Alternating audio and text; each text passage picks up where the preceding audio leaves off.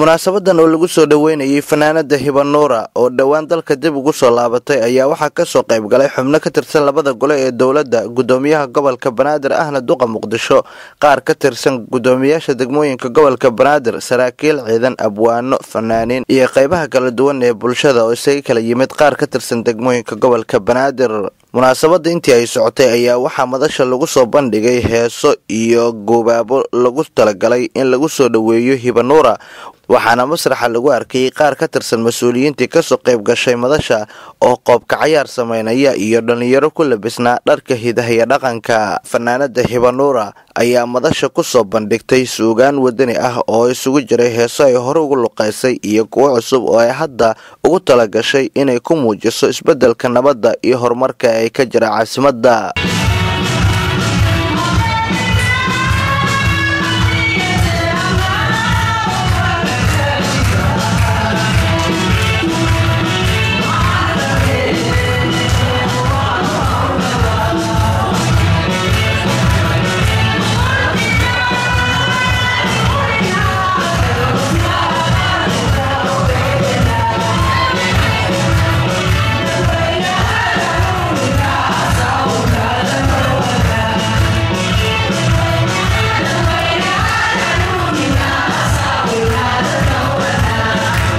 gudoomiyaha gobolka banaadir ahna duqa muqdisho mudane maxamuud axmed nuur tarsan oo madasha khudbad ka jeediyey ayaa ugu horreyntii tilmaamay in maamulka gobolka banaadir uu diyaar u yahay inuu ku dhiirigeliyo fanaaniinta dalkooda hooyo dib ugu soo laabanaya si ay ummadda u wacyigeliyaan. Waxa uuna madasha ka sheegay fanaaniin dhowaan magaalada muqdisho ku soo wajahan oo uu ka mid yahay boqorka codka maxamed suleymaan tubeec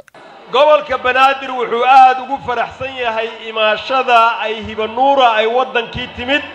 ay ku soo noqotay caasimaddeedii magaaladeedii ay ku soo noqotay aad baan u soo dhowaynaynaa soo noqoshada hibanuura waxay micnaheedu ay tahay dadkii amni darrada uga qaxay magaaladani in ay dib ugu soo noqdaan oo magaaladoodii ay amni tahay calaamadaas ayay muujinaysaa risaaladaas ayayna diraysaa. Waxaan leenahay marka fanaaniin badan baa horey u timid.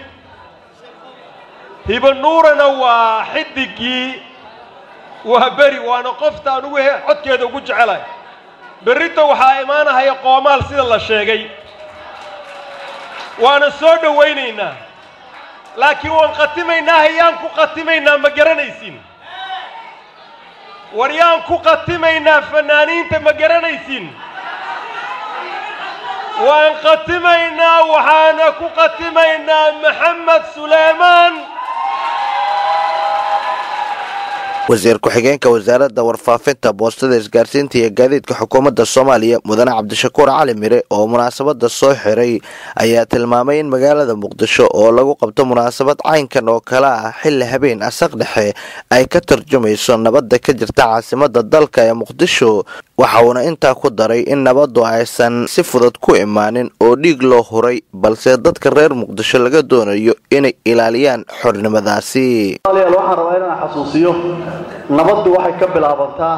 qofka maskaxdiisu inay gasho inuu nabad u baahan yahay ama uu nabad haysto. Inaan caaway magaalada muqdisho xaafad ka mid ah aan tobankii ku gaarno dhallinyaradu ay si fiican u soo labisato ay qoslaan sheekaystaan xaafadooda ayagoo baqayn u laabtaan. Waxay qayb ka tahay oo gacan way ka geysanaysaa inay magaalada muqdisho caasimadda soomaaliya ay noqoto magaalo la isku hallayn karo ammaankeedu inuu yahay mid